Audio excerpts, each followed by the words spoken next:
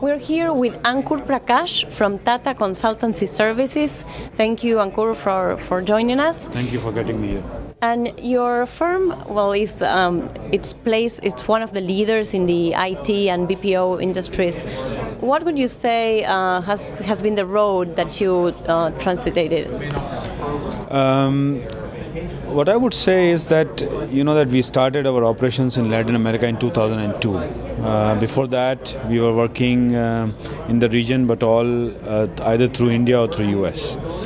So from 2002 onwards, uh, we came up with this strategy, uh, basically uh, because of four primary reasons. One is to serve the global companies uh, who were uh, showing expansion uh, plans in Latin America. Number two, to serve the uh, global companies who are based in Latin America who are going to grow outside Latin America in other geographies. So, to be close to them, to be near to them. Number three it was to serve the local market of uh, the global, regional, and the domestic companies within Latin America. And number four, um, and these are not in any order. Number four, to uh, create Latin America as a talent hub, which could be uh, an option other than uh, uh, India. So those were the primary four basic reasons because of which we started our journey of Latin America.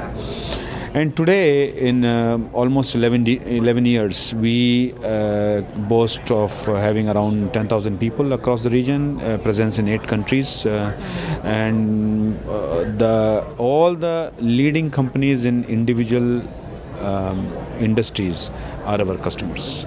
So I think the the reason based on which we started this journey, the reason based on which we created this strategy, is paying off. Uh, market is understanding that this is what we wanted to do.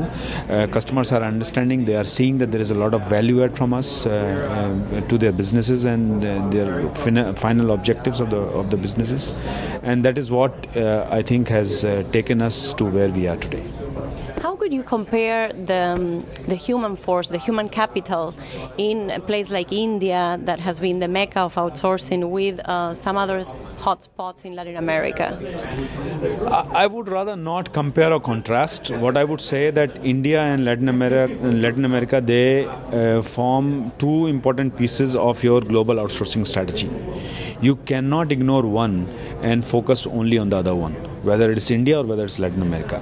For example, if you want to do um, uh, any work that entails the same time zone advantage, you cannot do it from India it's just not possible. If you do want if you want to do uh, work that entails to have people speaking spanish or in portuguese you cannot do that from india. You you can do it from latin america.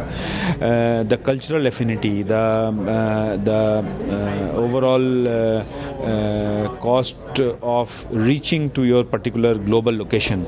All of these have to be considered as as factors when you take a decision on your global outsourcing strategy and uh, could you please lay out what's ahead for, for the industry in these coming years?